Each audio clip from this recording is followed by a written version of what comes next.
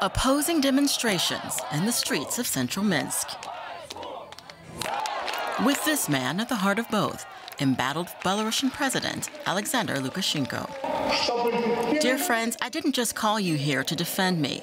You came here to defend your country, your independence, your families, for the first time in a quarter of a century. Lukashenko addressed thousands of loyal supporters on Sunday after days of protest put Belarusian domestic politics in the international spotlight.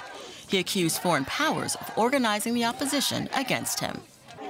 The opposition is all paid off. They're provocateurs who went into the crowd. Where are the parents of the children who went to the protest? It's criminals who are committing these violent acts against our riot police. Lukashenko has ruled the former Soviet state since 1994. And after his disputed re election victory last week, he is determined to stay in power. Moscow says it's ready to help militarily after Lukashenko reached out to Russian President Vladimir Putin twice in recent days.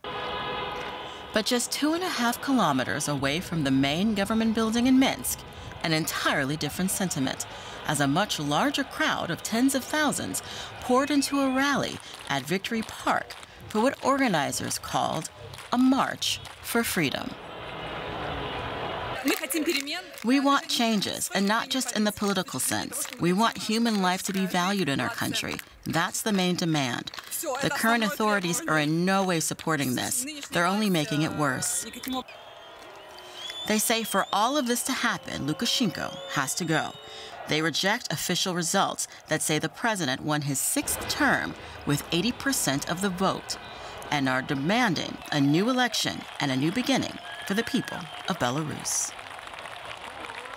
Let's get more on these developments. We are joined by DW's Yuri Rescheto, who is standing by. So, Yuri, tell us more about the accusations that President Lukashenko has made against NATO.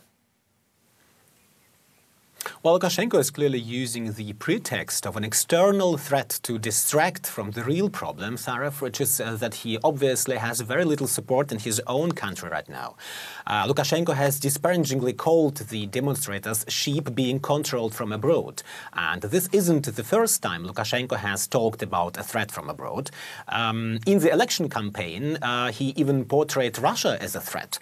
But now that he is looking to close ranks with President Vladimir Putin, uh, the subject of the so-called Russian threat is suddenly off the table. And now he is saying uh, that NATO is the real threat. Um, from today, the Belarusian army will be holding military exercises on the border with Lithuania.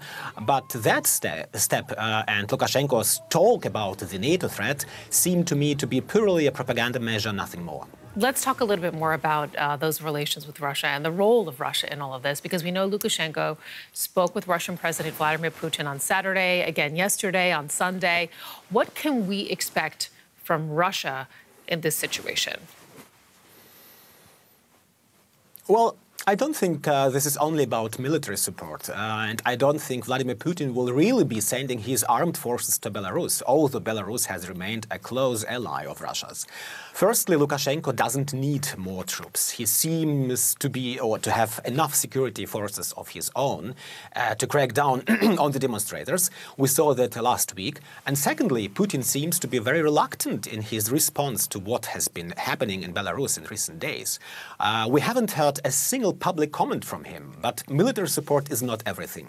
Uh, Belarus and Russia are already very close, but it is possible that Putin wants to further deepen economic cooperation with Belarus and that he's uh, pushing for that. And it's also possible that Lukashenko has been discussing a plan to escape to Russia with Vladimir Putin. After all, the pressure on him is clearly rising. Talk, talk with us a little bit more about that pressure. How big is the threat of these protests to Lukashenko right now? Well, pretty big. It's quite clear that the opposition will not give up, and it's clear that there will be more protests on the streets of many Belarusian cities, especially after yesterday's protests. And uh, the opposition doesn't want violence, but rather dialogue. Um, they are even prepared for dialogue with Lukashenko. If he's smart and if he doesn't want to end like other autocrats or dictators before him, he will agree uh, to dialogue uh, with the opposition and maybe even lead it. Maybe we could see a roundtable with uh, repre representatives from different groups of society. And even though Lukashenko said yesterday that a new election would lead to the downfall of the country, nevertheless, a new election is becoming more and more likely. But that very much depends on how many people protest in cities across Belarus in the coming days. DW's Yuri Rescheto reporting from Moscow on the situation in Belarus and the international fallout. Thank you, Yuri.